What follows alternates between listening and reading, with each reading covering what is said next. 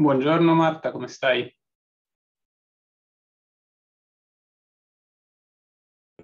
Buongiorno, bene, bene, grazie. Lei come va? Bene, bene, grazie. Ottimo.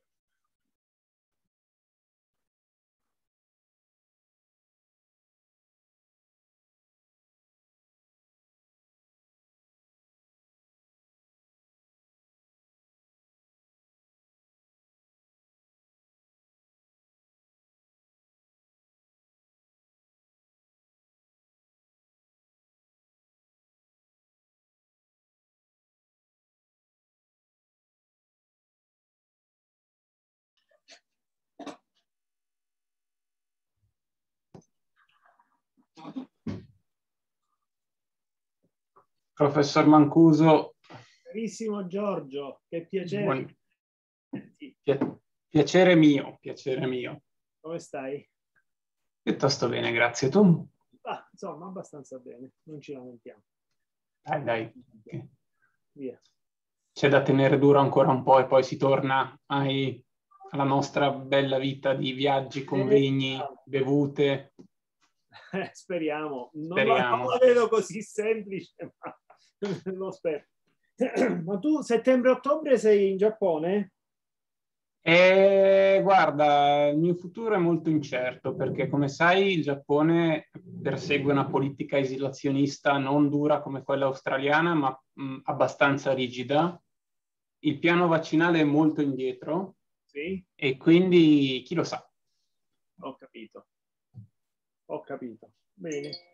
Beh, io perché io te lo, te lo chiedevo perché io forse, di, ovviamente anche lì dipende dalla politica che verrà, viene adottata, ma conterei, se si potrà tornare a viaggiare, di eh, andare a Macao eh, verso la metà di settembre. Mm, Eh, ho capito. sei lì da quelle parti, una, un- un'allungatina la si può fare. Ah, ok, Sono io, sono io che ho capito. sono io che sono io che faccio casino, no? Mi è arrivata una telefonata mentre No, no, figurati, figurati. Eh, guarda, non lo so, perché poi qua... Oh, ecco che arriva anche il professor Castellucci, il nostro dominus della sessione. Vabbè, gli lascio la, gli lascio la parola a questo punto. Però deve mettere l'audio, se no non lo sentiamo. Pensavo vi bastasse vedermi con la giacca. Ecco. Bene. Bene, bene. Dunque, dunque, noi abbiamo avuto un problema, parlo in italiano perché siamo ancora pochi, ma vediamo chi c'è. Per adesso siamo solo italiani, Siamo da, solo quanto, italiani. da quanto i nomi suggeriscono almeno. Poi Sì, non so sì, se- eh, sì, sì, lo siamo, lo siamo tutti e c'era una, una parlatrice che ha avuto un problema di salute e quindi con ogni probabilità non parteciperà ed è Chiara Correndo, che aveva una relazione interessante su- sull'India e c'è Marina Vahabhava che dovrebbe arrivare da un momento all'altro.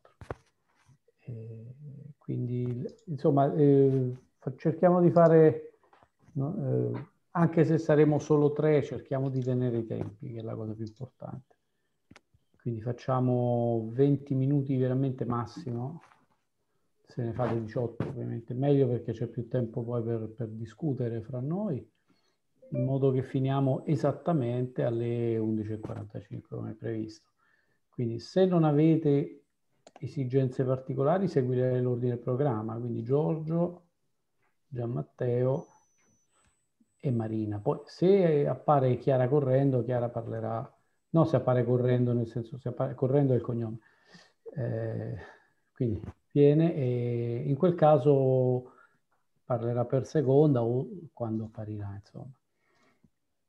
Eh, se avete delle presentazioni, tenetele aperte già da ora in modo che poi fate share screen e le, e le presentate. Eh, chiudete qualunque altra cosa perché succede, succede di aprire cose sbagliate e quindi eh, è meglio di no.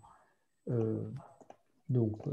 Faccio una, facciamo magari... L'audio si sente bene? L'audio si sente... Le... Facciamo una prova a microfoni a rotazione. Vai, Giorgio, di qualunque cosa. Prova. Fantastico. Gian Matteo. Mi sentite? Benissimo. Perfetto. Uh, Chiara non c'è ancora, Marina non c'è ancora. E ovviamente facciamo in modo che chi non parla eh, tiene il microfono spento. Certo. Eh, fate caso. Faccio anche una questo. prova di condi- condivisione, vedere se è tutto sì, a posto. Sì, sì, sì, facciamo una prova, dai. Ecco, infatti, uh, host disabled participant screen sharing.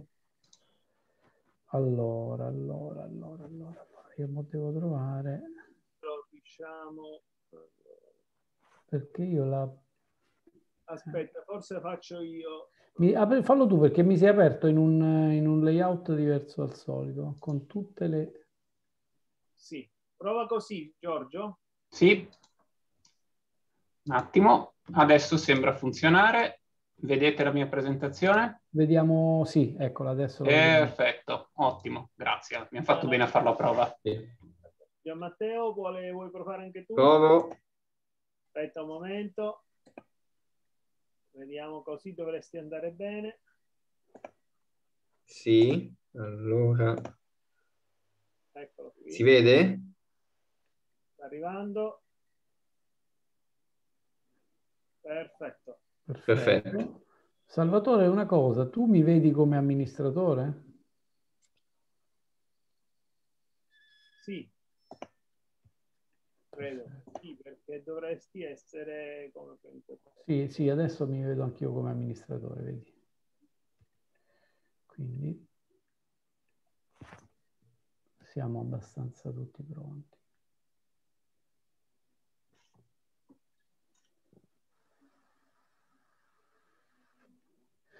Salvatore, scusa, ma tu per abilitare Gian Matteo e Giorgio, da, dove l'hai allora, se tu, Dove vai, se tu metti la manina sulla persona sì. ehm, e ti spunta un disattiva l'audio oppure tre puntini.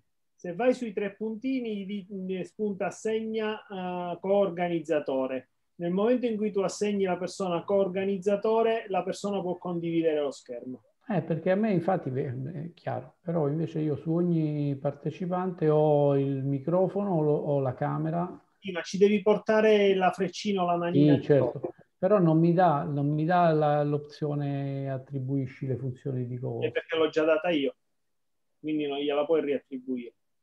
Vediamo, ne prendo un altro caso.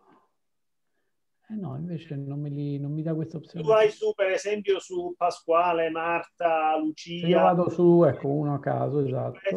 Clicchi sui puntini e dovresti non vedere... Ho i puntini, non ho i puntini. Salve, buongiorno, sono Pasquale. Volevo... Pasquale, buongiorno.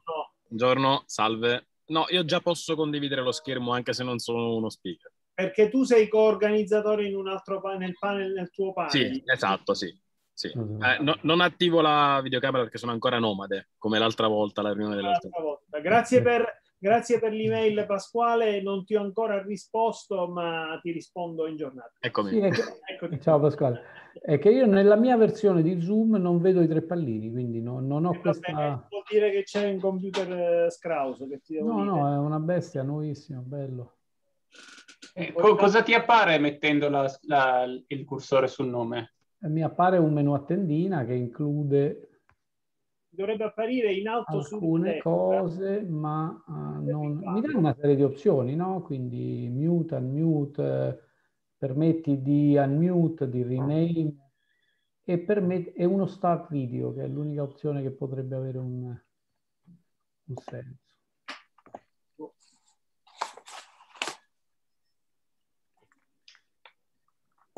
Adesso abbiamo un'abbondanza di co-host, nel caso ti possiamo aiutare con le cose tecniche. Sì, no, ma vorrei capire comunque come, come risolverlo con quest'altra versione perché, certo. perché altrimenti siamo... abbiamo una difficoltà. Intanto mi apro un file di Word per registrare anche la chat. Sie, sia, sappia, siete tutti registrati, le sessioni sono registrate e verranno salvati in un file di Word anche i contenuti della chat. Questo ci può servire sia perché eh, Nella discussione escono cose interessanti e quindi le, le teniamo appuntate sia per, per, mille ragioni organizzative o logistiche, per cui ci può servire di tenere traccia eh, di quello che accade.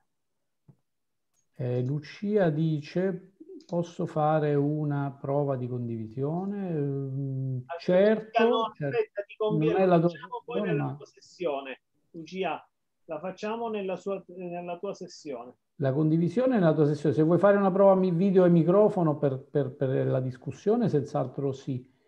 E altrimenti... schermo, se no diventa un, troppo, troppo... Se no si complica molto e si, si sovraccarica questa stanza.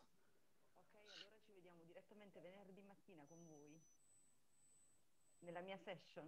Ti okay. sento lontanissima, Lucia.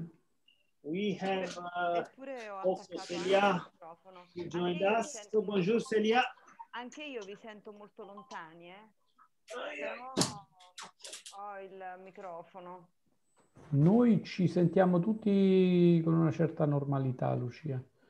Con, insomma, se parli un po' vicino, un po' forte, ti, ti ascoltiamo. Io ti condivido, sono, sono, quasi dormendo perché stanotte non ho dormito niente. Ecco. Non vogliamo sono, sapere. Sono, sto ancora dormendo. Allora, ragazzi, eh, va bene, abbiamo fatto le prove, tutto a posto. Bene, adesso è tutto in ordine, quindi we still have one minute before we start. So we give the possibility. And so we already have 11 participants here. Uh, including three, four co-hosts. So it could be. Okay. Well, 10.15. Good morning, everyone. It's great to be here. Uh, fun to arrange uh, such a big event online, uh, a number of technical issues, but we will, we will manage, no doubt. It will be great. And uh, I open this session uh, quickly uh, my name is Ignazio Castellucci. I am professor of comparative law at the University of Teramo, vice president of Juris Diversitas. And uh, we are opening uh, this conference with this panel 1A titled Dark Aspects in Selected Asian Legal Systems. The focus is on Asia. We have four speakers in the program. Uh, Giorgio Colombo from the University of Nagoya. He's an associate professor of comparative law and at Nagoya Postgraduate School of Law. He's also visiting professor at Ca' Foscari in Venezia. And uh, he's a well-known scholar, uh, an expert of Japanese law and researching, teaching, lecturing globally, basically on Japanese law, especially on Japanese law. Uh, another, the second speaker in the program is Chiara Correndo. She may or may not appear due to health uh, problems this morning. Uh, we hope we'll see her and she's, she will present, she's a researcher from the University of Torino and she will, should present a, a paper on, on the Indian law and Indian legal pluralism. The third speaker in the list is Gian Matteo Sabatino. Uh, he's a PhD from Trento and he's a researcher at the Zhongnan University of Economy and Law at Wuhan, the People's Republic of China. He will speak about the Asian uh, traditional notion of law and how this combines with rule of law and uh, the other very Chinese notion of rule of virtue in, in governing society. Uh, the fourth speaker is Marina Vahabova. She's a lawyer from uh, Avezzano, Abruzzo, Italy, and she's a PhD candidate at Teramo.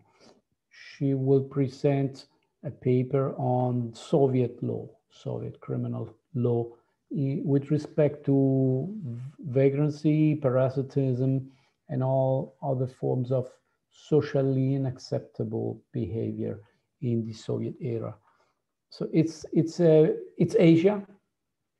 We have Japan, we have China and East Asia, we have India perhaps. we have the Soviet Union, which is not technically speaking Asia, but is not non-Asia either. Uh, it's it's uh, certainly four different experiences where the law has a thick societal dimension uh, and an important role traditionally as a tool of governance. So there could be a red line, there is a red line connecting the four panels. And uh, without losing much time, I'll give the floor to Giorgio Colombo, Associate Professor of uh, Comparative Law at Nagoya, presenting his paper titled The Law Be Damned, Hamao Shiro and the Problem of Legal Injustice in Modern Japan. Uh, Giorgio, you have the floor. Thank you very much. Um, it's a great honor and pleasure to be here. Um, let me share my screen if possible. Um, do you see my slides? Okay, so um, thank you very much, Ignazio, for your very kind introduction. Um, I'm Giorgio Colombo, and um, uh, I am professor of law at Nagoya University Graduate School of Law. Um, between my application and this conference, I was promoted, and I, I give the merit to the Juris Diversitas good luck um, charm. Um, it's a great pleasure to be here. I wish we could be all in the same room, also because on screen I tend to look like and speak like a news announcer from some dictatorship, but I will try to do my best to be as entertaining as I can. And the topic I decided to, to um, present today is a topic about law and literature, uh, focusing specifically on one selected author, which is Hamao Shiro. Uh, but uh, I would like, if possible, to draw some broader um, consideration and conclusions about law and literature outside the Western context, and specifically in the Japanese context. Uh, now, I would like to start because I know time is limited. I will occasionally look at my phone. I promise I'm not playing Candy Crush. I'm just keeping time. So, um, this is a very Japanese way to proceed. You explain the structure of your presentation. And the first slide is the structure of your presentation. So this is the structure of my presentation. Um, I will first introduce this um, famous writer. Unfortunately, he's not as famous as he should be, Hamao Shiro, and his life. Um, and how his work is very significant uh, in the development of Japanese law post Meiji reform, when Japan adopted a continental uh, inspired legal system. And I will focus specifically on three short stories, which I find very enlightening of Hamao Shiro worked and his significance, the execution of Ten Ichibo, the devil's disciple, and did he kill them? Uh, from these stories, I will try to uh, elaborate on the concept of law, literature, and the Japanese context. And in particular, I would like to highlight how modern, how contemporary even Hamao Shiro work is. And finally, I will try to draw some inconclusive conclusions because I know that the contest is right. I'm preaching to the converts. Everybody here is a big fan of interdisciplinary research. So I hope I could find um, some, um, some, some colleagues interested in pursuing further research. So this is Hamao Shiro. Uh, Viscount Hamao Shiro. Unfortunately, he passed away very young because he was very fragile of health. Uh, but he's a very important figure in both Japanese law and literature. Um, he was the heir of two of most of the most powerful Japanese families of the Meiji period, because he was born into a very important family. His father was a court physician, and his grandfather was the president of the Imperial University of Tokyo what is now is Tokyo University. Uh, but he was adopted into another equally powerful family. Um, his adoptive father was the former Minister of Education. So he was quintessentially elite. And Hamao Shiro played an important role in the, Japan, in the modernization of the Japanese system because he was one of the first Japanese public prosecutors trained under the new French-inspired system. Uh, the Kensatsukan was originally modeled after um, the Ministère Public, and then the reform made it closer to the German prosecutor. But he is uh, one of the first legal professionals in this modern Japan. He resigned uh, to the horror of, of, his family in 1928 to pursue a career as a, mostly as a novelist, but also as a private practitioner. And he entered the House of Peers in 1933. Unfortunately, he passed away only two years afterwards. Um, and he was also very uh, ahead of his time as a criminologist. His writing on criminal theories in general are surprisingly modern he was one of the first advocates of non-cisgender people rights, to use a contemporary lexicon. He was the one of the first to advocate for homosexual rights, for example. Um, so this is his legal significance, but his literary significance is also is as important, probably even more important. He is considered by many the founding father of the Japanese legal detective fiction or Horitsu Teki Tantei Shosetsu. And his production is mostly set in this very quirky, very fascinating literary stream known as Eroguro Nansensu, erotic, grotesque, and nonsense. Um, other famous authors are like Edogawa Rampo or other um, Japanese novelists inspired by Edgar Allan Poe Lovecraft and famous uh, writers from the United States and Europe. His recurring topic, and this is what is most significant for today's presentation, is the inability of the legal system to deliver justice.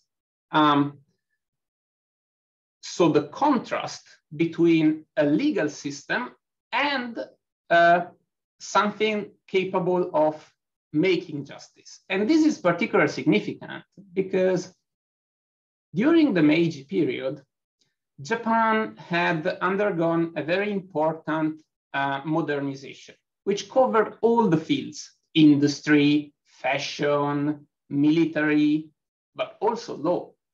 And of course, we as lawyers, we tend to think that law is the most important thing, but of course it was not. Um, Japan became a respected international power when they were able to defeat first China and then the Russian Empire. But law had a very important significant, uh, sorry, symbolic significance. Uh, to use the words of a Japanese procedural law scholar, Takeshi Kojima, law was seen as the barometer of modernization. In other words, especially the Western observers evaluated how modern Japan was becoming, looking at its legal system.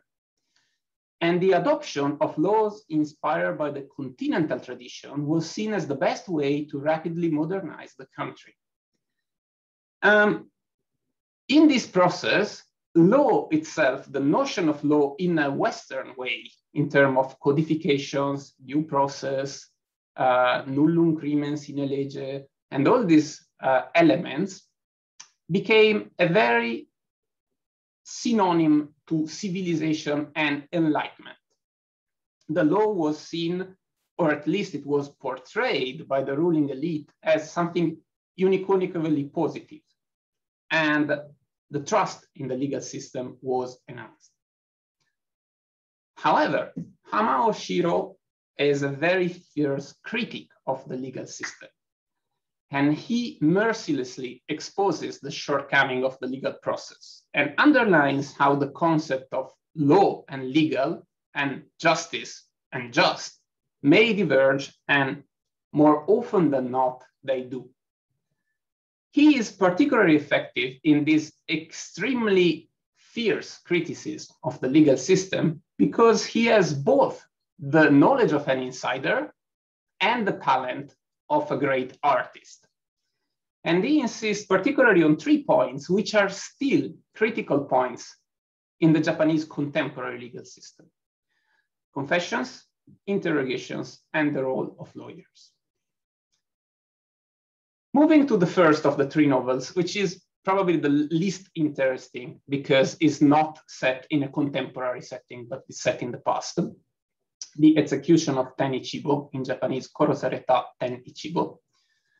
Um, we see this is a parody of some um, stories written about uh, amazing magistrate of the Tokugawa period, Oka Tadasuke. Uh, Oka Tadasuke is kind of like um, a Solomon of pre-modern Japan, somebody who was considered uh, quintessentially just and equitable. And what uh, Hamao Shiro does is taking this image of justice and deconstructing that. For example, in the novel, there is something similar to the Solomon judgment. Two mothers are fighting over the maternity of a child, and the judge orders them to pull as hard as they can. And then one of the mothers just say, no, I can't do that. I'm hurting the child. And the judge says, oh, you're, you're the mother. You're the good mother. Uh, but in the story, the real mother is the other. And she complains, it's like, I was just following the law. I was following what the judge told me to do. I put my trust in the legal system and I was deceived. Um, the story is about um, this person who claims to be a noble, basically. But if the claim was to be accepted, that would create a lot of political disturbance. And so the judge wonders what to do. And eventually, he decides that it doesn't need to carry out any investigation or to find the truth, because the truth is whatever the judge says. The legal process is so strong that it can disregard reality. And this short story is a satire against the repression of popular protest that was ongoing in Japan in 1929. Hamao Shiro shown how law can be used instrumentally as a weapon to suppress dissent. However, the two most important short stories I would like to deal with today are The Devil Disciple, uh, Akuma no Deshi, and uh, Did He Kill Them. And I think those are more significant because they're set in a contemporary period than Hamao's life. Akuma no Deshi is the diary of a person who has been sentenced to death for a crime he did not commit, but not because he was a nice person or an innocent person. It's because he wanted to commit another crime and failed. And uh, is in the form of a letter this person is writing to this extremely evil individual, um, the devil of the title. And the whole plot revolves about the uh, fact that law is only capable of punishing somebody who is guilty of a crime, but not somebody who is inherently evil. We can see from sentences like, at the same time, I cannot help being appalled at the frailty of the laws of this nation that are powerless to stop someone as dangerous as you. Somehow similarly, in Did He Kill Them, um, which is, again, something uh, contemporary to Hamao and set in the high society he was completely familiar with being a member of the high society. The story is basically uh, the reading of a letter of somebody who has been sentenced to death. Um, a letter uh, written to his lawyer, um, sorry, discovered by his lawyer. And the whole plot is about uh, the confession as the primary form of evidence in the Japanese legal system, which is still the case. In most, in most instances in Japan, cases are closed by confession. And in particular, by the fact that when there is a confession, um, it's almost impossible to reverse it, even if it is a fake confession. Now, as we can see, uh, Hamao Shiro is very good at dealing with what uh, Dolin called the paradox of legal injustice. Um, this legal injustice was a recurring theme in pre-modern Japan. Uh, we have a lot of um, popular uh, culture products such as theatrical plays, um, ghost stories, legends, kabuki pieces about the fact that the legal system under the Tokugawa was basically conceived to protect the powerful. Um, because law in pre-modern Japan was not equal for everybody. The nobility had different rules than the commoners, which is not uniquely Japanese, of course. But modernity had come. And so the fact that Hamao shows how even a modern legal system is incapable of securing justice makes him a wonderful bridge to contemporary Japan, in which those features he touches upon in the late 20s, such as the importance of conventions, the vast powers given to the prosecutors, and the fact that um, in Japan, still today, the conviction rate is almost 99%, uh, are still critical issues. In other words, Hamao Shiro is very good at explaining how the Japanese system is extremely effective in finding a culprit for each crime, but not the culprit for that crime. Moving to the final part of my presentation, um, I would like to go a bit beyond Hamao and discuss about law and literature and the Japanese context. I know there are many fans of the law and literature movement here at Juris Diversitas. I am a big fan myself. However, um, the, the field in itself has always some problems in going beyond the Anglo-American perspective. This is inevitable to some extent because the law and literature phenomenon was born in an Anglo-Saxon context. But it's very difficult to go behind that. And this presentation is part of a broader research heading towards that direction. Um, now, what Hamao does is an analysis of Japanese law from a Japanese perspective. He is a double insider because he's both Japanese and a lawyer.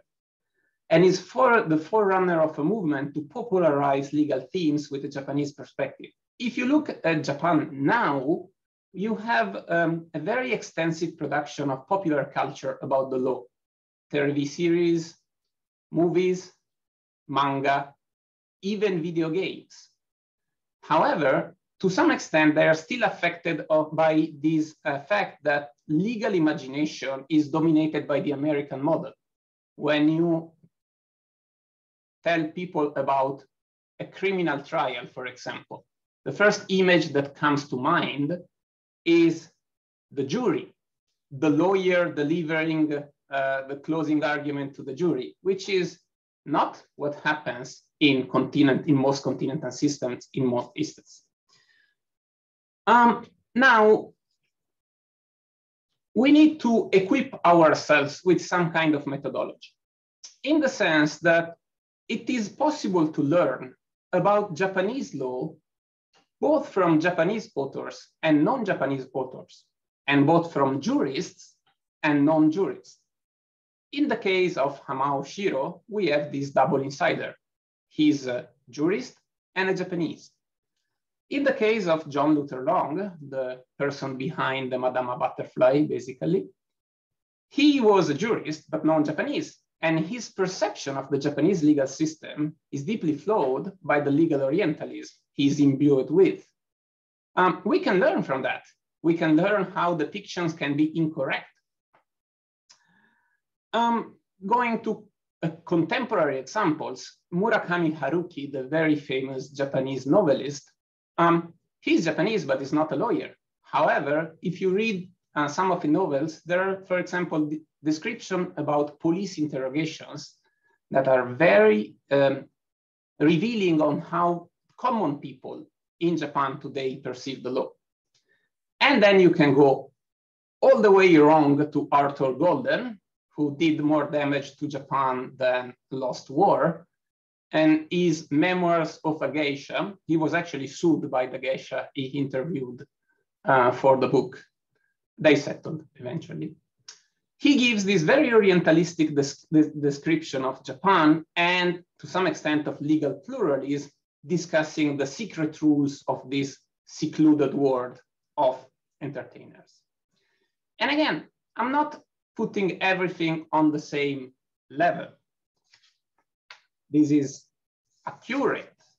This is um, Japanese. This is contemporary. And this is wrong.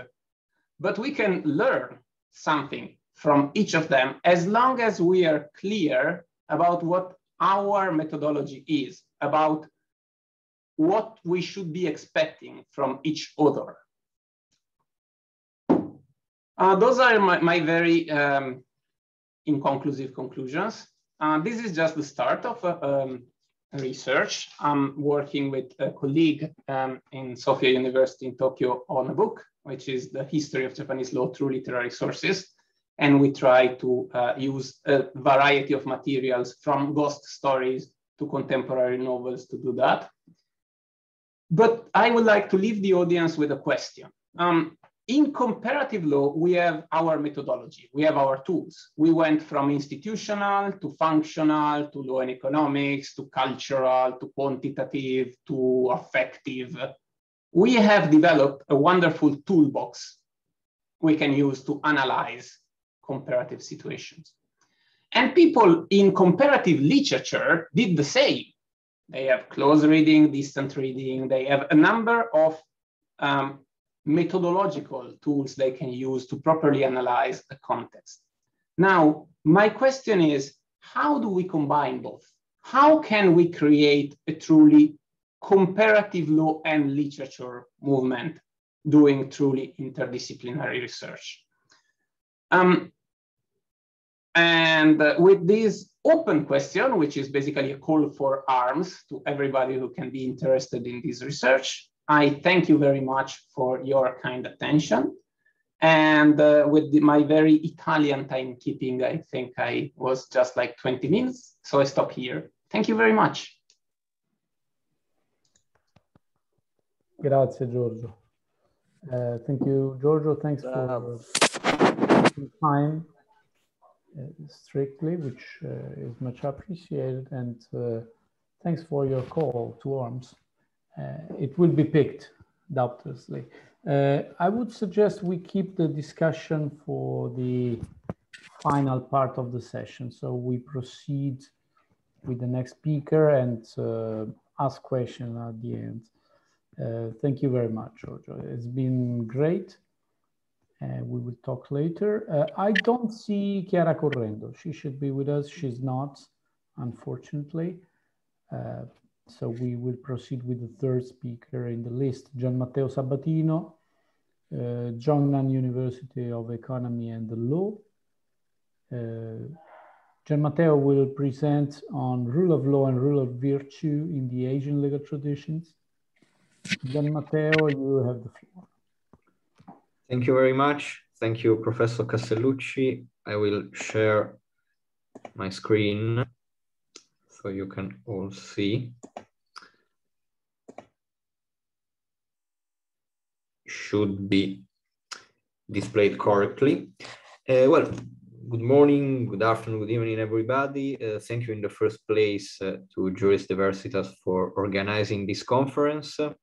And uh, I am from uh, the, the Sino-Italian Institute of uh, the Zhongnan University of Economics and Law, as well as the University of Trento in, um, in Italy.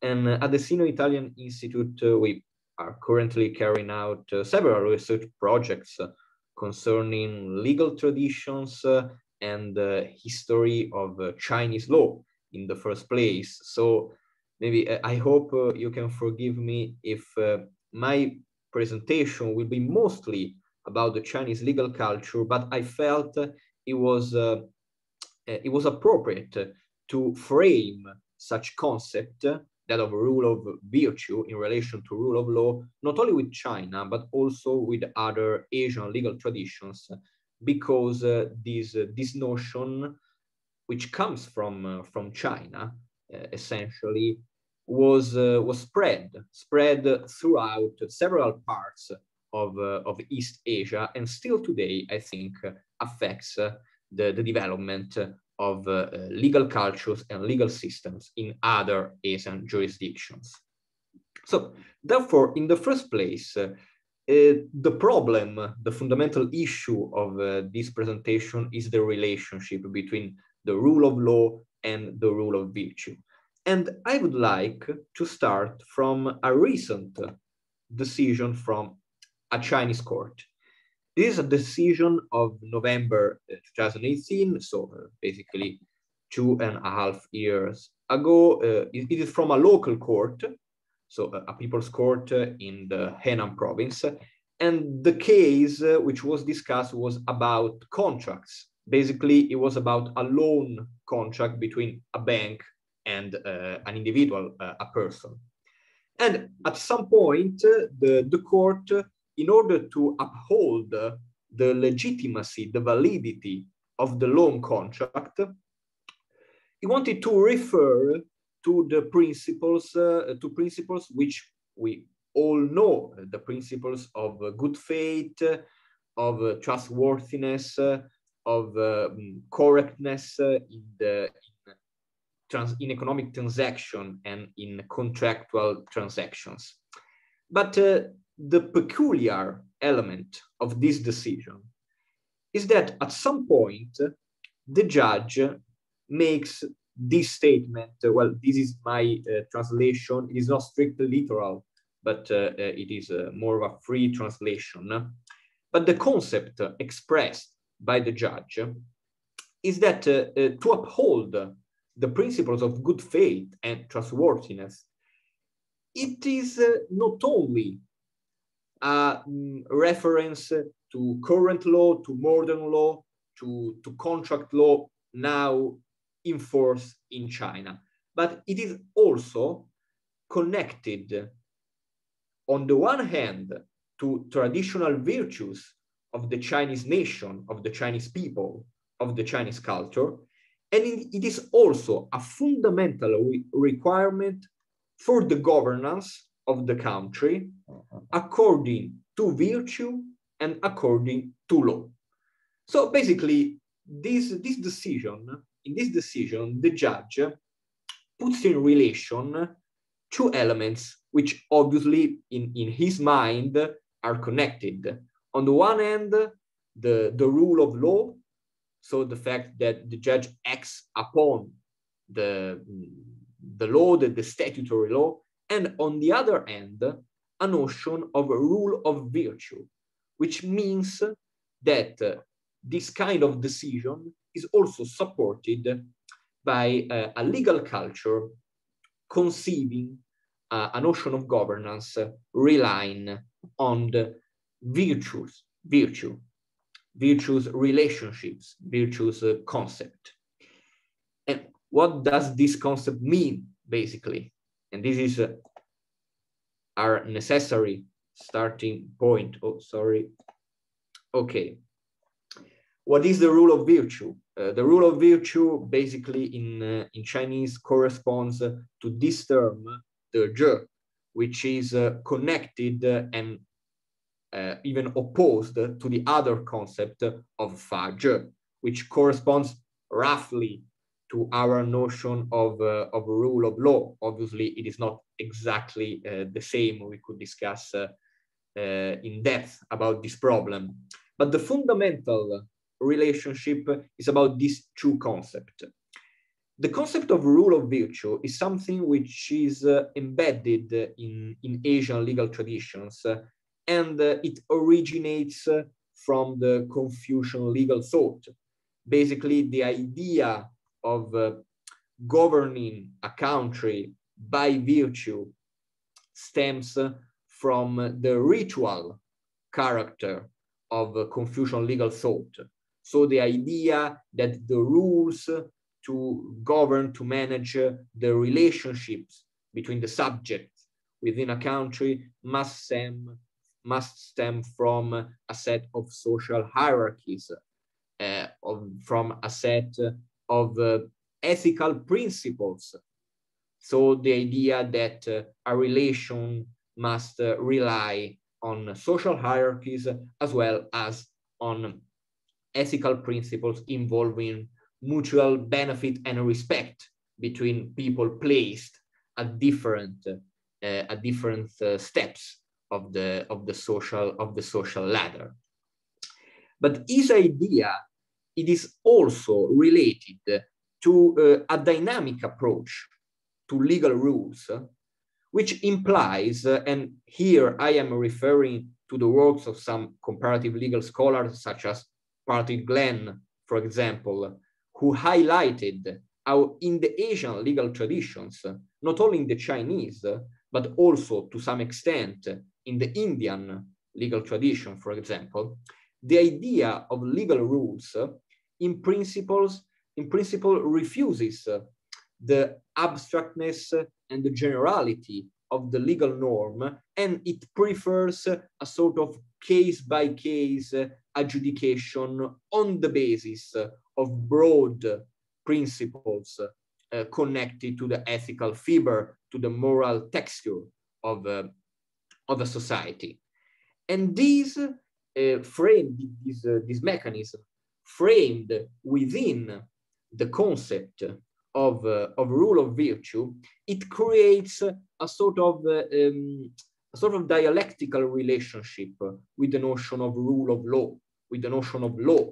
Because uh, uh, you see that, for example, in the Confucian legal thought, as you probably know, in principle, the, the rule of virtue should prevail over the rule of law in the sense that uh, the rule of law is a sort of emergency mechanisms of uh, emergency solution, which uh, implies a sort of defect in the um, in the proper functioning of the of the of the society of the um, ordinary uh, legal transactions uh, according to uh, to rituals and according to according to virtue.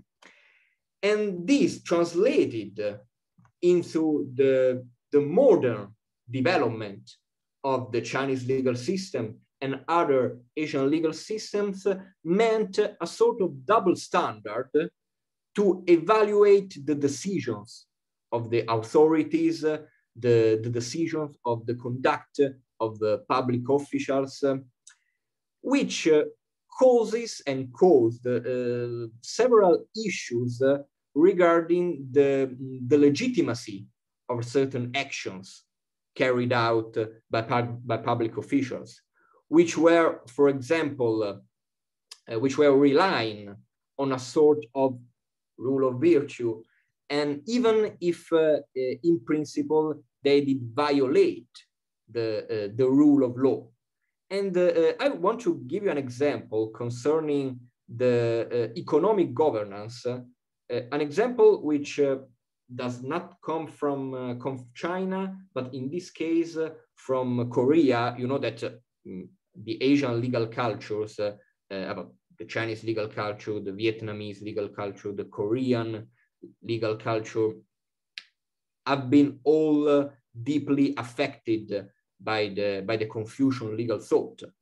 The the first circulation of legal model of legal models, if we can speak in uh, in these terms, in in East Asia occurred on the basis of the of the diffusion of the of the Confucian thought, of the Confucian uh, principles of uh, of governance.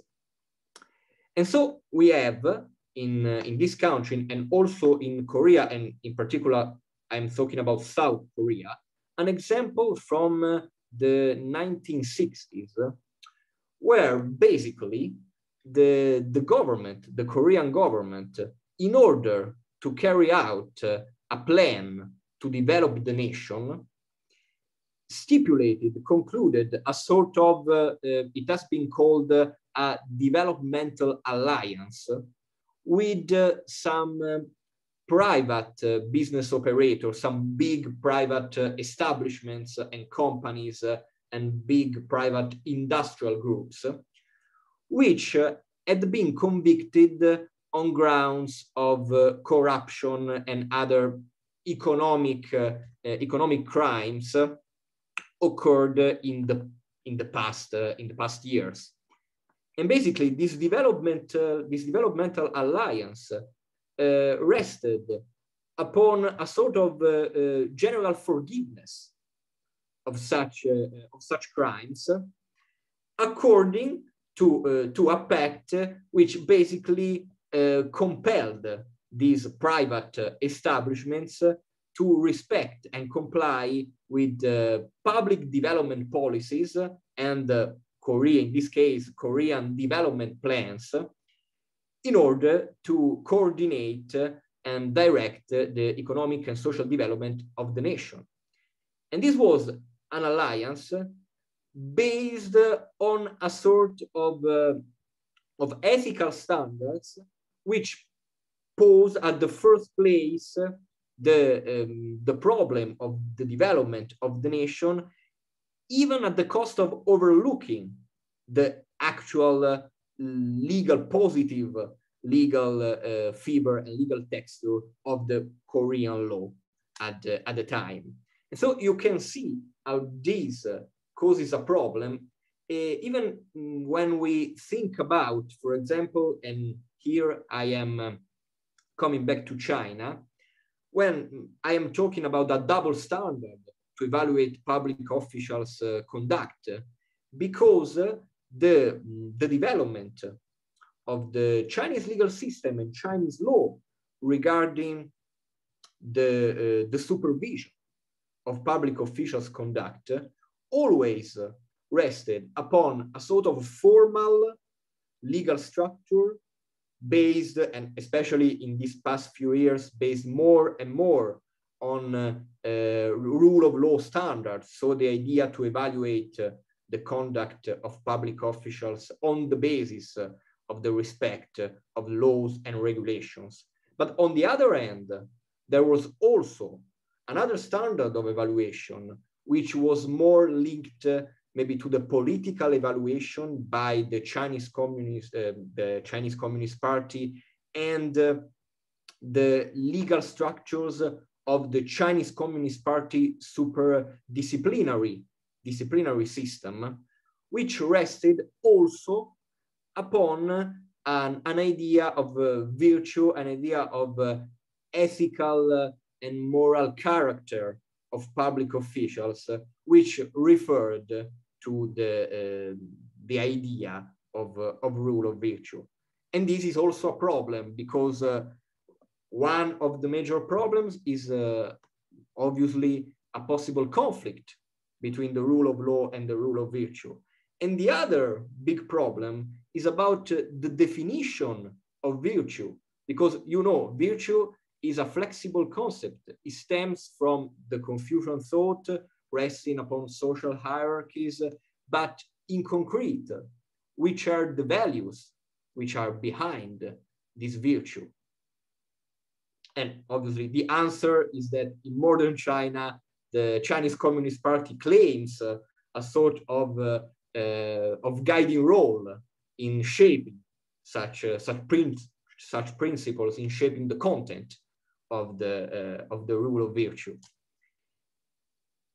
And now, um, by looking at the bigger picture, we can see how, uh, I don't want to take up much time, so maybe I will be overlooking or leaving some uh, things out.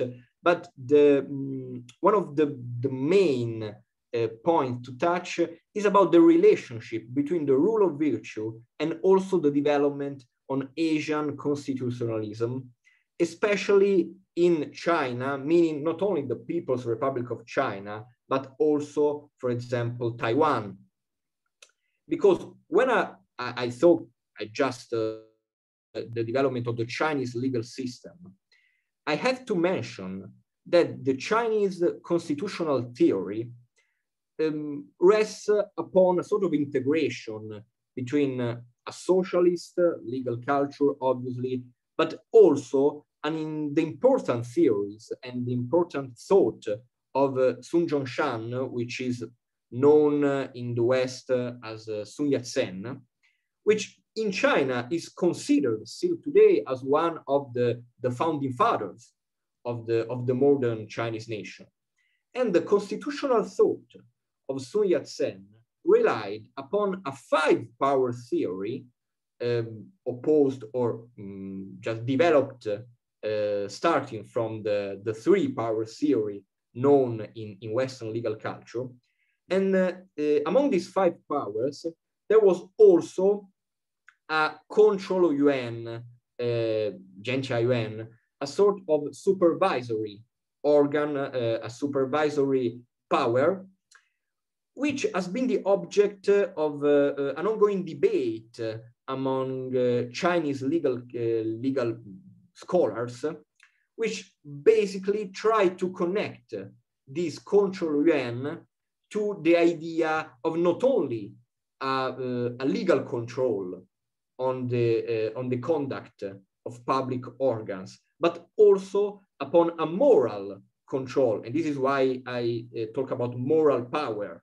So a sort of uh, supervision um, in light of ethical standards to evaluate the conduct of public officials. It is interesting to see, however, how in the modern development of the, uh, of the Asian, of these two uh, Chinese legal systems, on the one hand, we have uh, in Taiwan um, a sort of activity of the control yuan, which is more and more, especially in, in recent years, uh, more and more approaching a Western standard of rule of law and of uh, audit control. So basically, the, this control yuan in the in the Taiwan uh, constitutional law is becoming more similar to a sort of uh, ombudsman, ombudsman as known in uh, the European legal system and especially the Scandinavian legal system.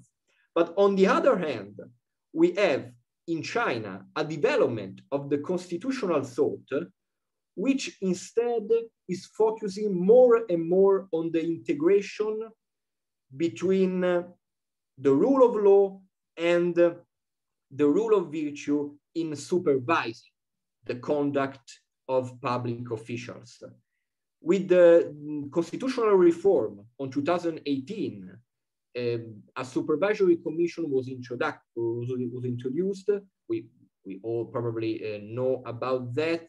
And uh, then uh, a supervision law was enacted to regulate uh, the functioning of this uh, supervision commission at the general and at the local level. And article, and article 11 of, oh, thank you. I, I, I am finishing. And article 11 of this uh, supervision law also talks about uh, moral integrity as a criterion to evaluate, to scrutinize the behavior, not only of public officials, but also of uh, everyone carrying out uh, affairs of public uh, relevance.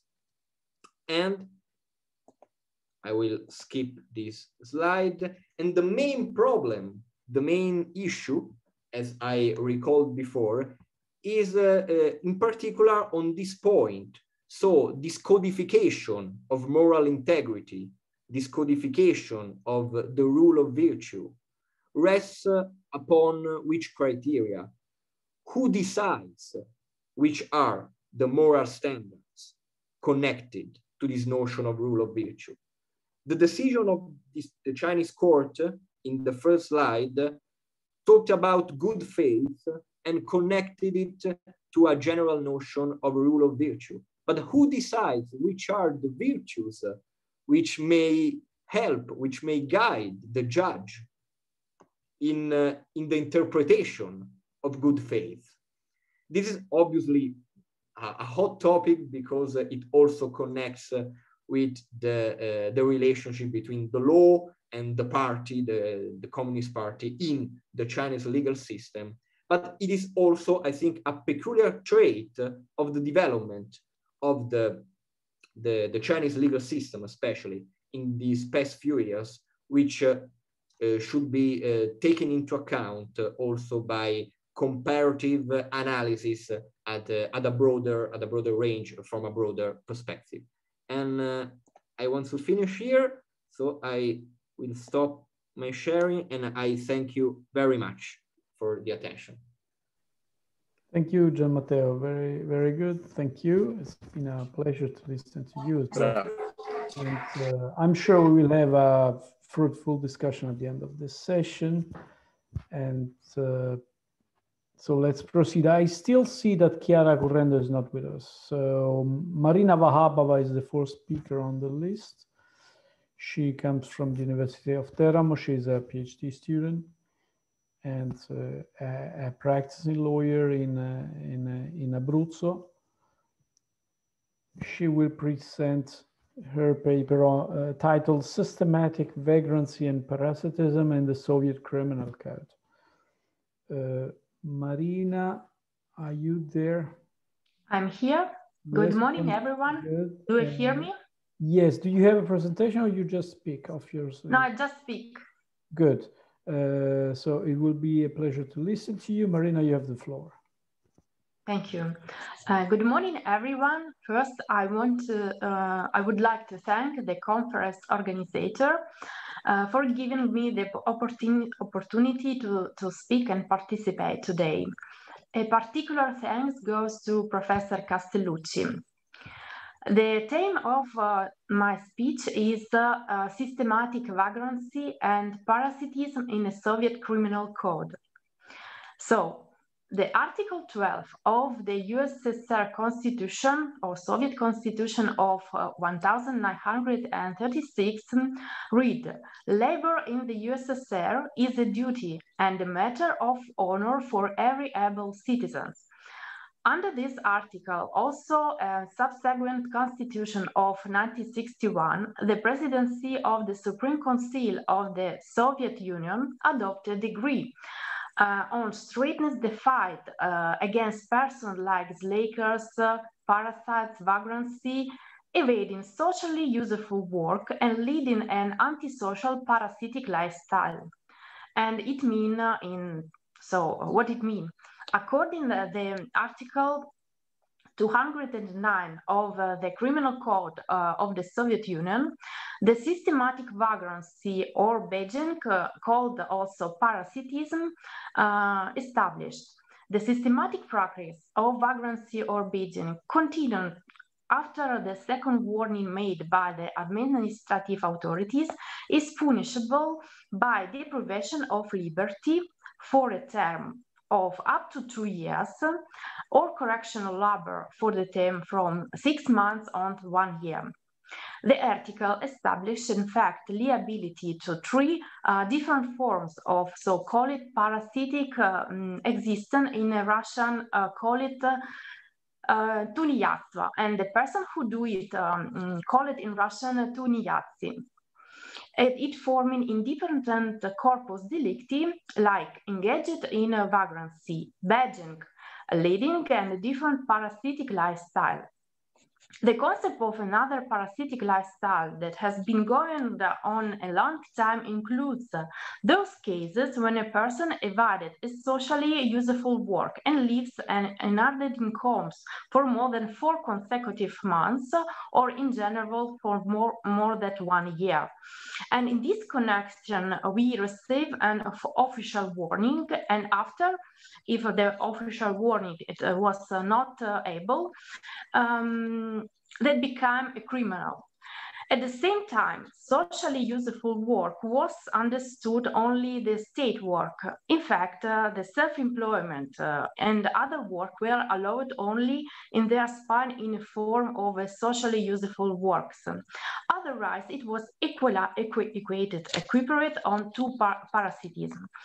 And studying in public, uh, uh, public schools was considered also a social useful work.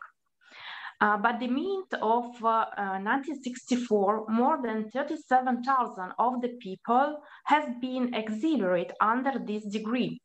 And it is curious to notice uh, uh, how the parasites were recognized uh, and referred by the, um, for example, engineer technologies that are stopped working with the state uh, work, equipped the rabbit form, and began to live off in home uh, it brought. Another case, it was a firefighter that uh, was engaged in his land and um, trade some veg vegetables and fruits. Sometimes could have decided to evict disabled people. Charges of parasitism were frequently applied to dissidents and uh, refusees many of whom was intellectuals of the Soviet. In fact, many of Soviet intellectuals and dissidents were accused of the crime of parasitism, including an important Joseph Brodsky. In fact, the, the Russian poet that awarded the Nobel Prize in Literature in 1987 was charged with social parasitism so by Soviet authorities. In 1964, the court found that his series of uh, not stable job and the, um, the role like a poet were not a sufficient contribution to the society. So we need to understand why it was uh, in this way, why it was this uh, crime. In 1982, with the inauguration of Yuri Andropov life as General Secretary of the Central Com Commission of the Communist Party of the Soviet Union, the first again parasites intensified. The policy periodically organized riots in shops or cinemas, cinemas during the work hours. All citizens of working age caught here and were checked and reported to the place of the word about truancy. It must be said in general that for the moral and the ethical of the citizens during a Soviet period, full employment was considered the right guaranteed by the state and the form of personal and also social uh, realization. the right to work in the USSR was um, mm, carried also by constitution, in particular the Article of 1008 of the Constitution of 1936, and also the same in the after another constitution of um, 1977 uh, in the article by 14. Every citizen, in fact, was guaranteed employment, and in particular, that is the right to receive a guaranteed job with pay in accordance with its quality and not lower than the state minimum size, including the right to choose a profession, occupation and work in accordance with uh, vocation, ability, uh, education and social needs. So by official, it was mean to be employment for a company or institution with a mandatory marker in a so-called workbook. Uh, the particular uh, that this workbook was uh, very important because um, every labor note uh, this uh, um, employment. And the best social ideal for the Soviet worker ethic, worker ethic, it was uh, considered to increase only two in the workbooks. First, about employment after uh, his graduation, and the, the last about dismissal of it from its connection with uh, retirement. So the uh, campaign against parasitism did not uh, give much results, and um, although the criminal article less than 30 years the, the fight against parasitism was carried out before the adoption in 1991 of the Employment Act, which abolished the criminal uh, liability for parasitism and recognized unemployment. Uh, uh and nowadays, according to Article 37 of the current constitution of uh, nowadays uh, Russian Federation, uh, we have, and the labor code also, the forced labor in the Russian was uh, um, pro prohibited, and the phrase about uh, guaranteed employment for the citizen uh, is absent. Mm. Another particular rule um, was foreseen in uh, this historical period. And uh, in fact, the Article 69 of the Criminal Code of uh, Soviet Union um, prescribed the sabotage. What is this? An action or inaction aimed in understanding industry, transport, agriculture, the monetary system, trade, and other sector of the national economy as well as in activities of state bodies of public organization with the aim of working in the Soviet state, in this act uh, was committed by the using state or public enterprises, institution, organization, or other uh, their normal work. And um, mm, finally, the applicable sentence is the deprivation of liberty for the term of 8 to 15 years uh, with con confiscation of property. Uh, the USSR people who knowingly and uh, um, most often without it, without intention, did harm uh, to everything that formed the basis of the Soviet state. Anyone who inadvertently blundered something personal, gave an assessment, or that has happening, or accidentally broke something at work, public work, of course, immediately fell under this article. Both rules affect their behavioral content and the severity of the penalties provided for. A question comes spontaneously. Do, do similar law uh, belong only uh, the past? The answer is no, and I explain why. If you consider some example that follow.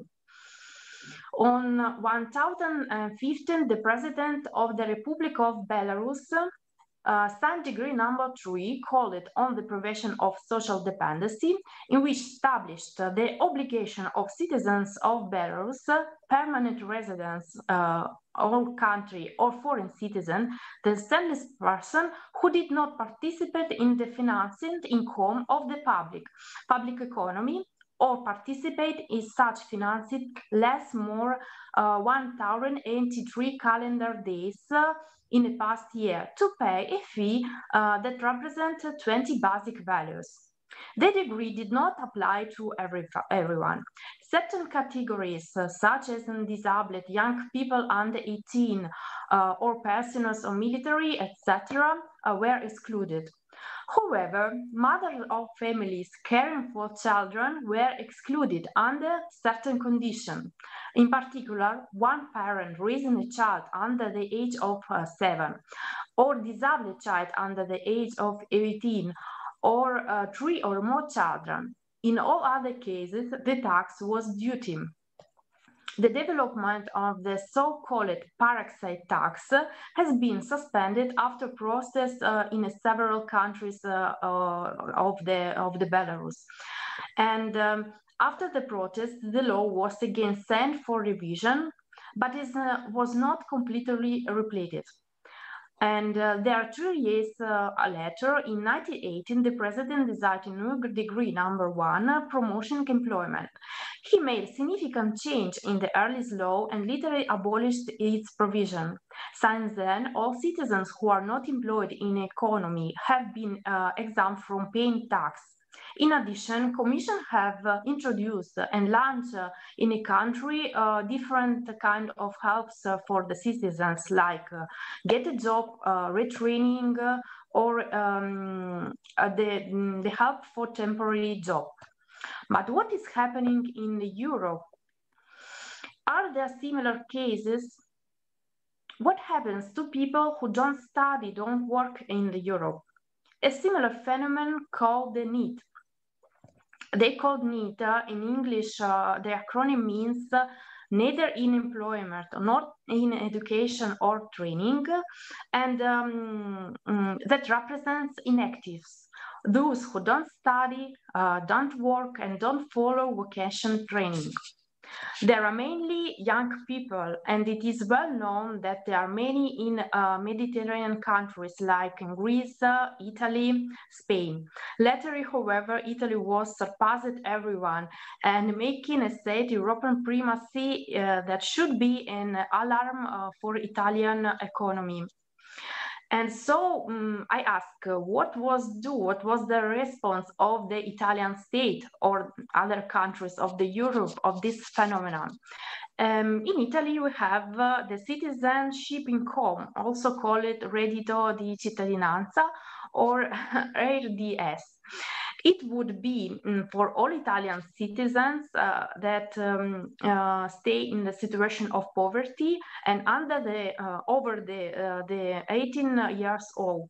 The poverty that's um, there showed is identified in a bill and income of 718 euros per months regarding of the level of the wealth.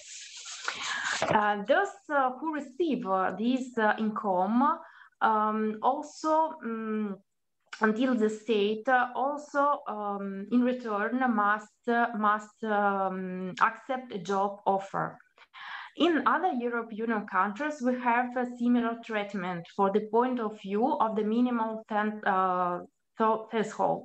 In Italy, but in Italy, would be the only country that the guaranteed incomes would be equal to the poverty line. If we do the comparison with other important countries of the European Union, some countries guaranteed much lower income than in, in Italy, Italian one.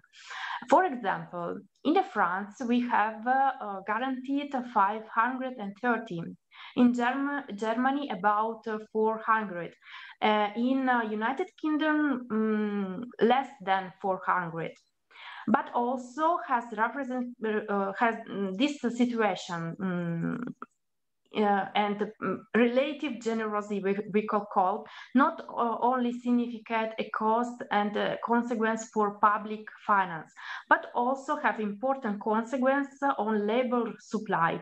In fact, the risk, the important risk uh, of a person training inactive and increase that the income received by the person in the absence of work increase uh, can generate uh, black labor and other situations.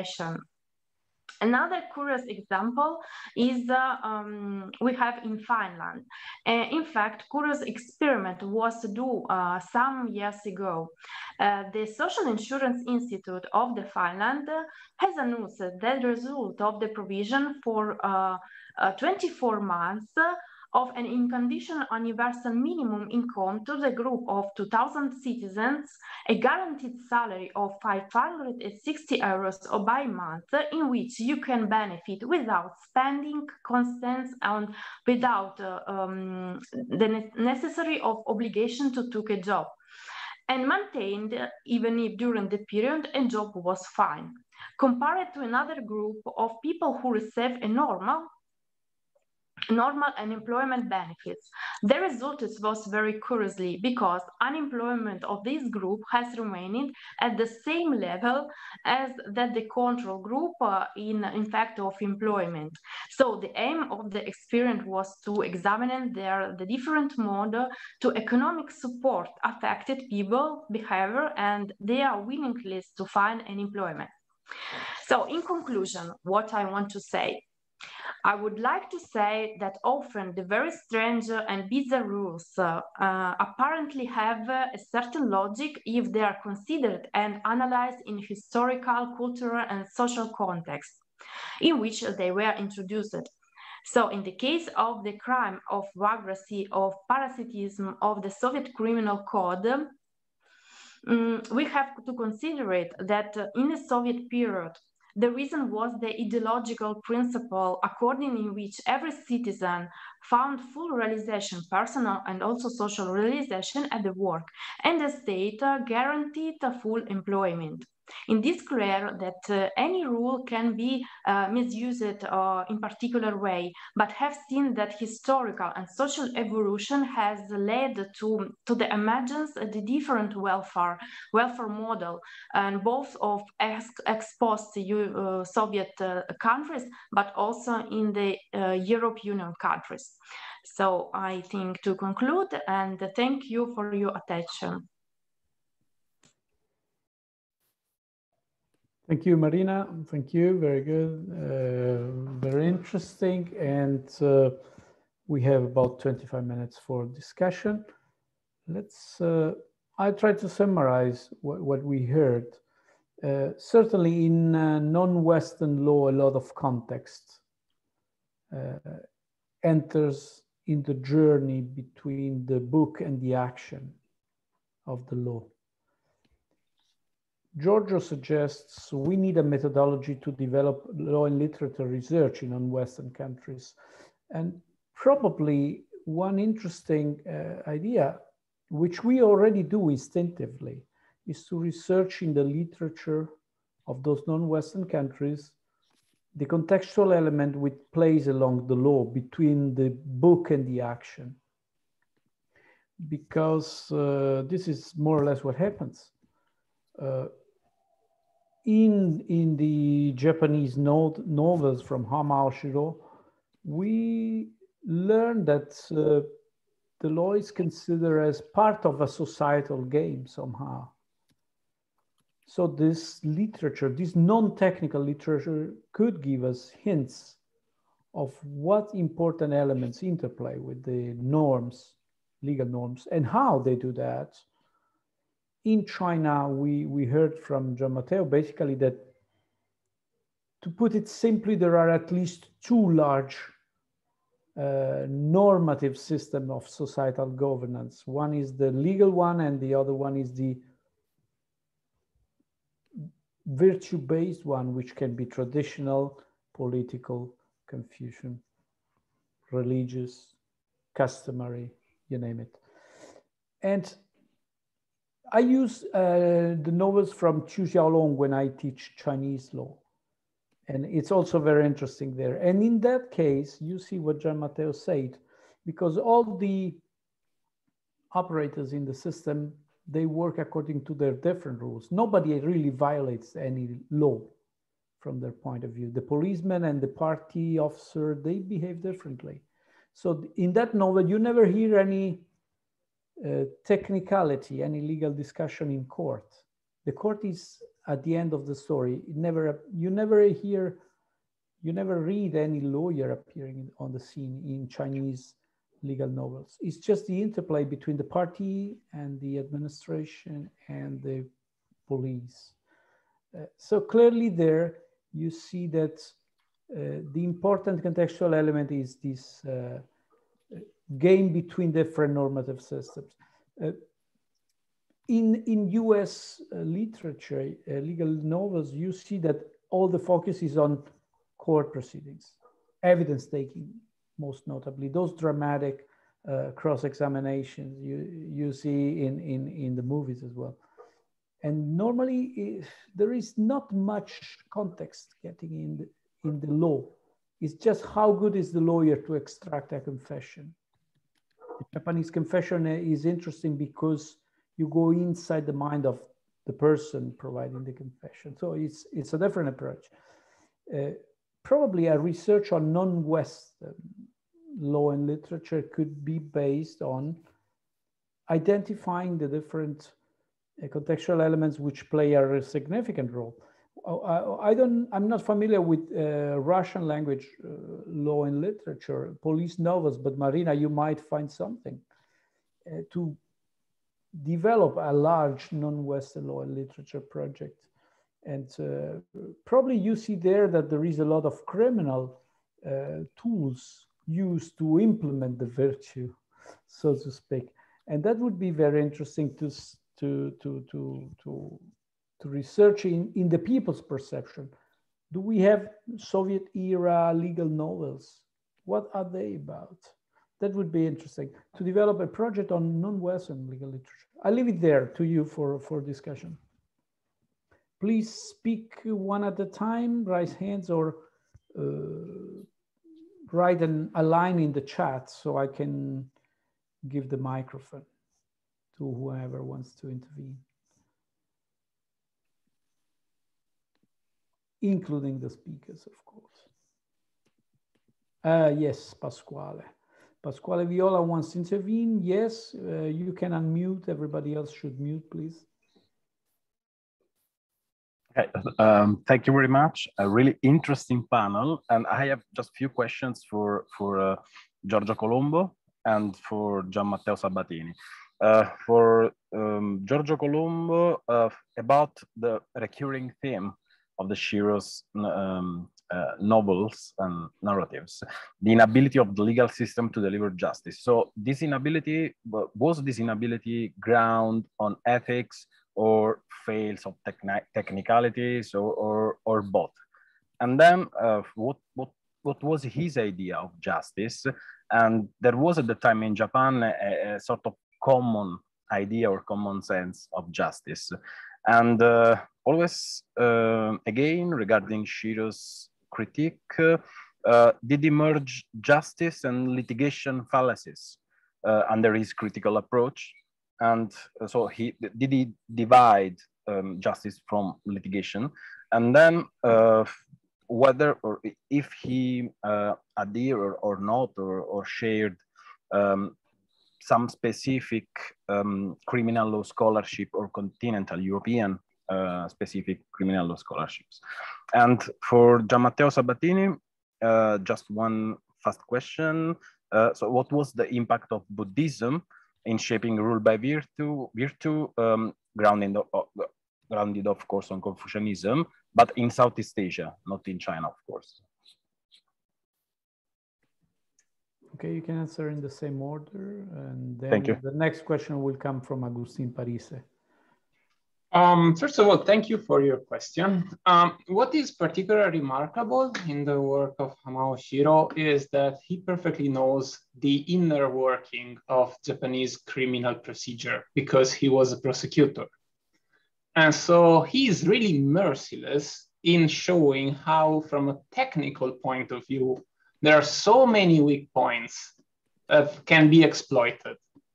Um, it, it's really fascinating to see that because um, this positivist idea of the legal system as the tool to deliver justice uh, was somehow rhetorically presented to the Japanese people at the time. But we were already, uh, uh, unfortunately, shifting toward nationalism and uh, uh, eventually to the militarism that led to World War II. And the idea of law was already being corrupted was already being used instrumentally. So he basically puts himself in this transaction and this transition. So um, yes, um, he mostly focusing on trial um, because this is what was his main interest. Um, so it doesn't consider like the legal system as a whole. Um, as for your final question, um, the Japanese Japanese legal scholars are among the best comparative lawyers in the world because because of this um, continental influence on the Japanese legal system. Every professor of criminal law is supposed to read German and to refer to German legal scholarship. Or if it is different philosophy, Fran, France and French legal scholarship, or both. So it was it was already it was early phase of development. So I cannot specifically point to the theories of any scholar in particular, but the continental influence was extremely strong indeed. Thank you for your questions. Well, I unmuted myself. Uh, thank you for your question. Well, about the impact of Buddhism, uh, mm, well, mm, if we think about rule of virtue as a concept, so the theorization of uh, rule of virtue is specifically uh, Confucian.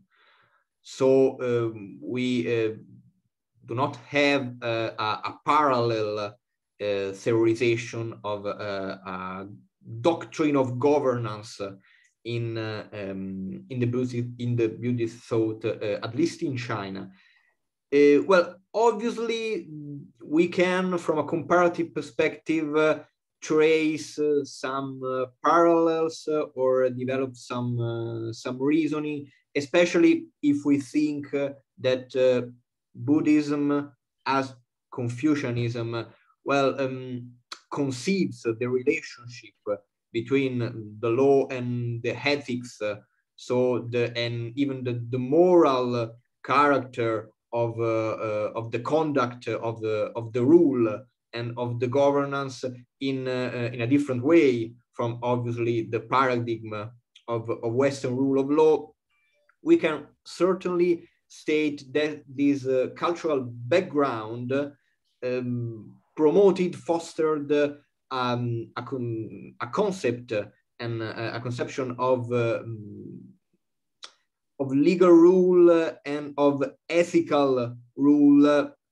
not only in China, but also, for example, mm, I think about uh, I think about Vietnam, uh, which is is near the the paradigm the paradigm of of the rule of virtue in the um, in, in the Chinese legal culture. I think hmm. that the, the real element of uh, uh, so to say polarization uh, and the real element which especially in the past few decades favored the revival of the rule of virtue as a general concept of governance in certain Asian jurisdiction is the is socialist law.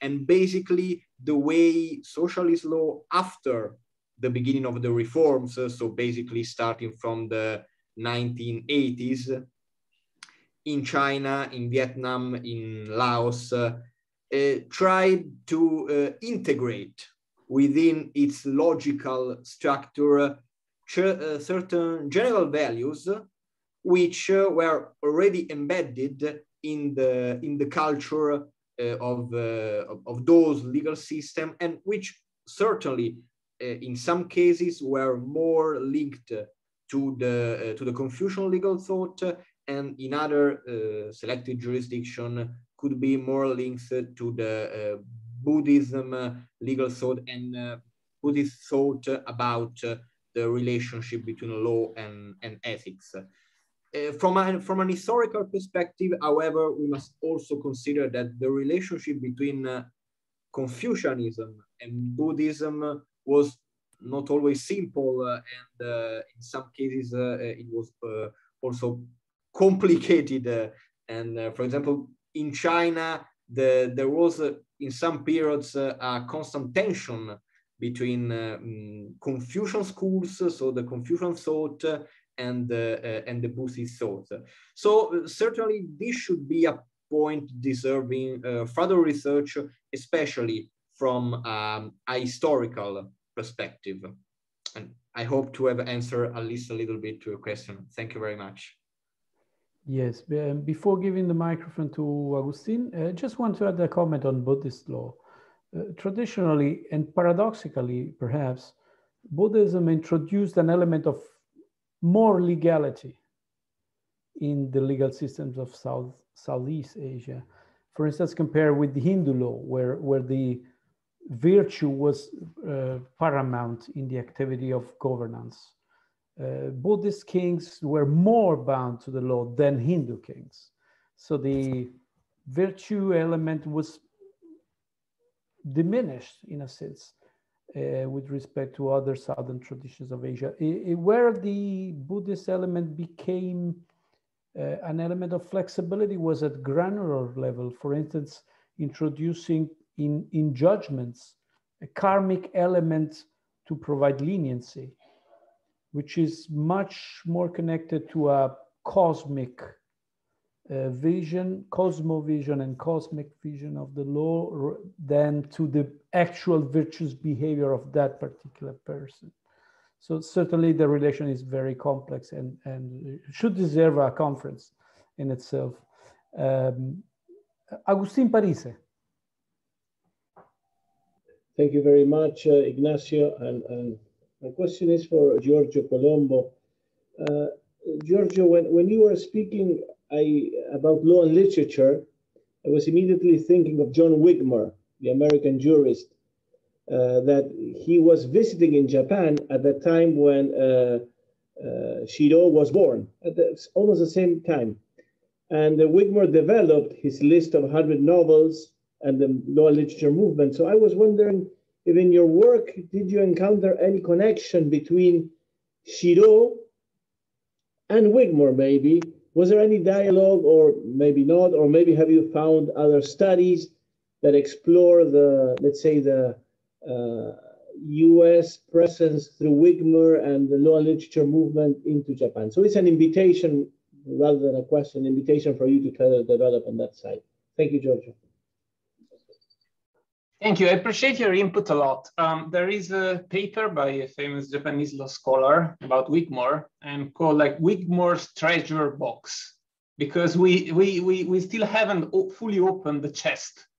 Uh, Wigmore was so uh, incredibly prolific in his production and his collection of original Japanese legal documents is still fundamental for the study of Japanese law. I haven't seen any direct encounter between the two, but I appreciate very much your input and I will definitely follow your suggestion to, to look for that. Okay, any other question or comments?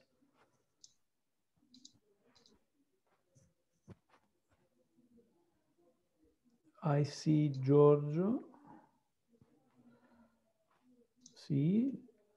Is it okay? Uh, I think it is. Is I, I have a right a, a hand up from uh, Salvatore. Hmm. Salvatore. I believe that Giorgio wants to make a question first, and uh, isn't it? No. Okay. Yeah, yeah, if possible, but Go ahead. I, I was already spoke enough. You raise the hand first, and then I will. Okay, no problem. Okay, so uh, a quick question. I know that it's a broad question, but to both Gian Matteo and Marina, uh, specifically starting on a point that Gian Matteo raised. Um, when I read in both like Japanese and Chinese judgments or legal scholarship, references to the mil- millenary traditional values, I can't help myself but thinking about self-orientalism and these jack of all trades to use like the old ways and beautiful customs to basically decide whatever is convenient to whoever runs the show. Is this was the same in nationalist Japan? Now in Japan, the far right wants to put the millennial tradition of Japan in the constitution. And I think it was somehow the same in the Soviet Union. Uh, this uh, reference to the socialist virtues and work as a fundamental activity. So my question to both of you is like, considering this from a technical, serious legal point of view, how much do you think there is a, a legitimate point and how much you think is window dressing and rhetorics in making these assertions? I know it's a very broad question, sorry about that.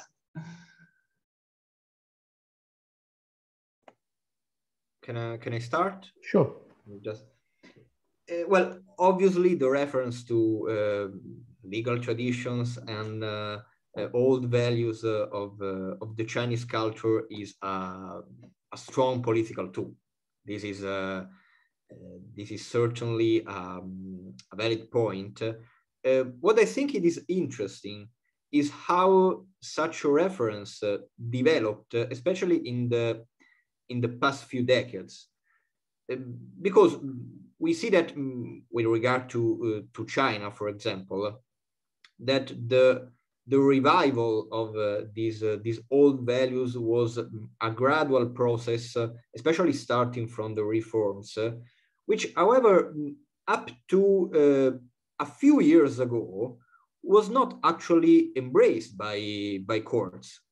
Uh, actually, the, the, specific reference uh, to uh, concepts uh, such as the rule of virtue or uh, um, moral values related, specifically related to, to, the Chinese, to the Chinese legal culture, has been for some decades a sort of parallel format or a sort of deep format of, uh, of the Chinese legal system, which in most cases uh, was not visible on the surface, meaning that obviously it was embedded in the, in the cultural and political structure of, of the Chinese legal system, but in some cases, um, statutes or uh, even the, the major, uh, some major decision of, uh, of Chinese court um, did not specifically mention uh, these uh, sets of, uh, of values and uh, well tried to abide to a sort of uh, western rule of law language especially in the uh, in the 90s where there was a sort of enthusiasm about the introduction of, of western rule of law in, um, in China. Well, what is, what is, is interesting to know is that especially in the, in the recent years, and especially with the, the, the leadership of uh, Xi Jinping. And this is a point which, for example, was also underlined, I think, by uh, Professor Cavalieri, uh, Renzo Cavalieri, in, in some discussions, is that these values, uh, these uh, references uh, are increasingly being codified as positive law in the Chinese legal system. So, for example, we have the supervision law, which uh, uh, explicitly talks about uh, moral standards and ethical standards related to, to moral integrity. And this is obviously just, just an example, but a few years ago, we uh, we had uh, a period where the where the socialist core values, uh, which were heralded as a guiding a set of guiding principles for the interpretation of Chinese law, then uh, their important importance gradually diminished in uh, in the past few years. But we still had some some courts uh, um, related, which were expressed, referred to to such values. Well, the the focal point is that this reference, which is mm, I repeat, increasingly being codified, um, is obviously a, a sort of uh, uh, well, backdoor uh, uh, through which the, the political will of the, the Chinese Communist Party is trying to um, affirm itself in the development of the legal system. Because, well, obviously, from a constitutional point of view, since the Chinese Communist Party is the guiding party in China, it has the legitimacy to interpret these, these broad concepts uh, related to the, the governance uh, of, uh, of the Chinese country. And so Gian Matteo, make it short because uh, Marina also has to answer. So, oh, okay, okay. Uh, well, basically, yeah, I can. I think I raised my point. I. So it's it's okay here I am. I thank uh, Giorgio for the question because uh, he gave me possibility to explain my point of view. I'm mm, I'm sure, uh, like Gian Matteo and uh, also like Giorgio, I think that uh, the law and uh, rules of um, mm, Soviet period are also um, can be considered uh, in a cultural period, uh, um, historical period particular, and um, um, in fact, it considered the law and rules of the social mm, period considered autonomous model of uh, uh, law like uh, civil law, um, common law, and others. Also, that that don't exist in this period because it appertains of the central period, historical period, but it also consider autonomy family. So, and in fact, now I stood studying a different um, legislation of post-Soviet countries like Russian Federation Ukrainian, Uzbekistan, Tajikistan, Belarus, and other. All of the, uh, that countries uh, take uh, a different model um, of USA law, model law of the USA, European countries, but we have one line that um, um, exists also in the modernity in this period. It is a consideration of high ethical, moral consideration, um, some cultural consideration that for um, different studies maybe can consider it like some rhetorical aspect, some political aspect, but it is not so for the mm, person who studied it in in more deeper uh, deeper consideration.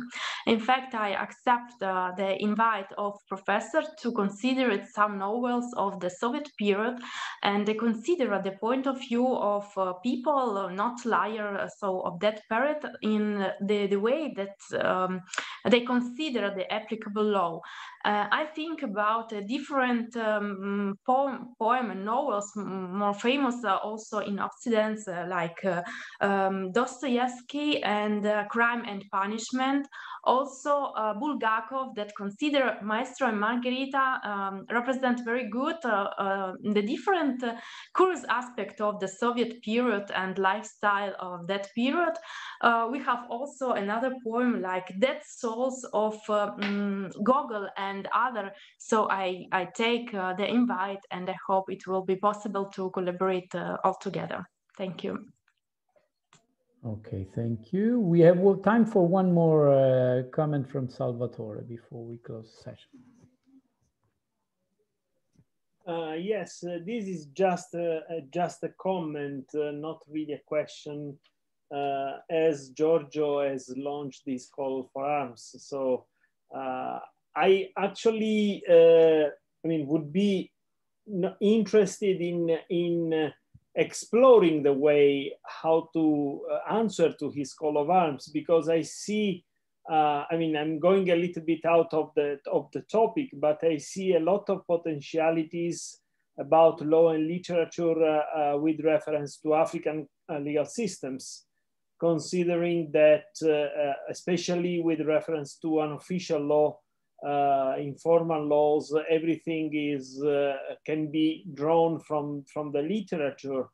Uh, and when I'm saying literature, I'm referring not only to novels but also to poems, brocards. But on the other side, there is an unwritten uh, literature uh, that should also be explored, and there most likely the uh, the methodology on how to let's say, work on non-written literature should be should be developed or should be understood. Uh, so uh, I I don't know. Actually, frankly speaking, if there is any law and literature uh, scholarship with reference to Africa, but I, I, I would definitely uh, be interested in in this and maybe if you launch something uh, on a comparative perspective, uh, that would I would be I would gladly be part of it. Thanks. Well, as, as the vice president of Juris Diversitas in charge of projects, uh, we could launch a research project here and now on this topic. If there is a consensus, we can exchange uh, a couple of emails later on at the end of the conference get together sometime soon, perhaps, and discuss how to develop this. It's most interesting, I think.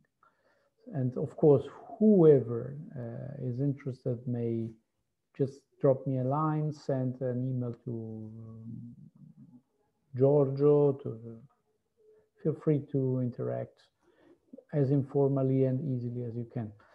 Uh, I see time is up and there is no other questions to be asked or comments from the audience. So I, I, well, let me say that the, the conference started the best possible way. The session has been great, very interesting, very lively. I thank our distinguished speakers and I thank you all for being present and interacting with them. Thank you very much and see you in the next sessions of this conference. Thank you. Uh, just one, just one uh, very quick, um, just one very quick uh, uh, remark. We have a pause, and next sessions will start at 4 p.m. Um, so you have time for uh, lunch and for doing things, and we can, let's say, see again at four o'clock. In the we have two parallel sessions and two more at 6 p.m.